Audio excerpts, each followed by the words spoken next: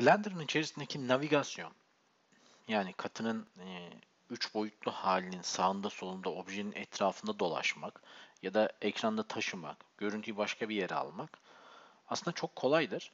Şöyle mesela tekerleğinizin e, üzerine basılı tutarsanız ya da üç tuşlu bir mouse'unuz varsa e, orta tuşa basarsanız ve mouse'un kendisini masanın üstünde hareket ettirirseniz e, objenizin etrafında dönersiniz. Bu bir insan, küp ne olduğunun bir önemi yok. Kamera da sizle birlikte döner, ışık da sizle birlikte döner. Yani siz dünyanızın etrafında dönmüş olursunuz. Bu bir. İki, Shift'e basılı tutarsanız klavyeden Shift tuşuna ve yine tekerleğinize e, basarsanız ya da orta tuşa bu sefer ekranda gezdirirsiniz. Görüyor musunuz? Tekerleğin kendisini ileri geri çevirirseniz mouse'un ucu neredeyse oraya doğru bir yakınlaşıp uzaklaşma olur. Ama genelde sahnenin ağırlığında ortada olduğu için ortaya yaklaşıp uzaklaşırsınız. Zoom in, zoom out yani. Şimdi birazcık vakit ayırın ve bu üç ana navigasyon hareketini deneyin. Birincisi zoom in, zoom out. Tekerlek çevirerek. İkincisi tekerleğin üstüne basılı tutarak ya da orta tuşa basılı tutarak objenin etrafında dönme, orbiting ve sonuncusu da Shift'te ve tekerleği basılı tutarak panning yani kaydırma. Objeyi ekranda istediğiniz yere kaydırıyorsunuz. Bunları bir deneyin. Görüntünüze alışın yani çok uzaklaşıp bir görüntünün etrafında dönmek mi daha işinize yarar bir gün? Bir binanın etrafında flycam'le uçuyormuş gibi. Ya da işte çok yaklaşıp küçücük bir detayla uğraşmak mı? Biraz sağa kaydır bir yanındaki detayla uğraşmak mı? Pardon sola. Ee, bunları eliniz alışsın. Bir süre çevirin, istediğiniz açıdan bakmaya çalışın. Yani bu küpün tam arkasına bakmak istiyorsanız şöyle arkasını çevirip seçebilmeniz lazım. Dolayısıyla buna eliniz alışsın.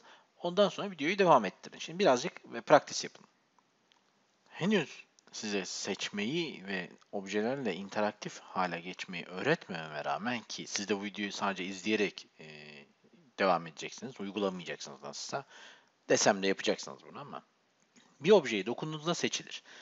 Obje de ekranda hareket eder. X'te, Y'de ve Z'de.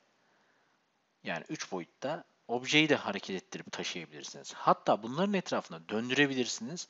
Hatta serbest olarak bile bir objeyi taşıyıp e, hareket ettirebilirsiniz. Bunların ne olduğunu daha sonra göreceğiz. Yani navigasyonun içerisinde sadece ekrandaki ışığın, ışık objesinin ki bunlar objeleri, kamera objesinin ve çizili objelerin hareket etmesi yoktur. Aynı zamanda yani bunlar döndüğü zaman konumları yeniden değişiyor. Aynı zamanda çizdiğiniz nesneleri ve objeleri de taşıyabilirsiniz bu şekilde.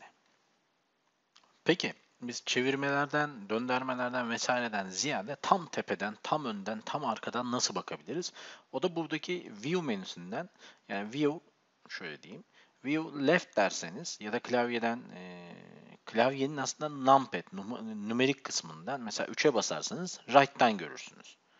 Şimdi bakın right dediğim zaman ve birazcık yaklaştığım zaman tam yandan değilmiş de sanki perspektifmiş gibi görüyoruz farkındaysanız şöyle. Yani tam yandan görmek istiyorsanız bunu o zaman perspektifle ortografik görünüm arasında geçiş yapmanız lazım. Görüyor musunuz? Bakın şimdi mesela right diyelim. Bu bir küp ve keskin bir şekilde görüyorum.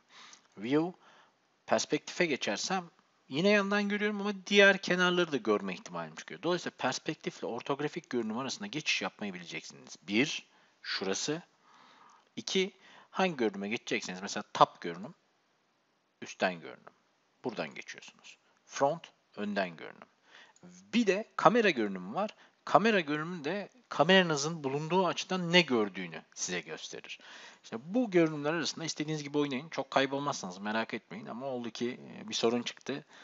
Ya e, faile gelin yeni dosya açın ya da kapatın geri gelin sorun değil yepyeni bir arayüze ulaşırsınız. Bir süre sonra zaten sahneleri, görünümlere dönmeye, navigasyona alışacaksınız. Navigasyonun temelleri bunlar. Yani ekranda gezmenin, parçayı gezdirmenin veya istediğimiz açıdan görmenin temelleri bunlar. Ee, siz de alışacaksınız istediğiniz özel görünümler oluşturmaya, istediğiniz özel açılar oluşturmaya.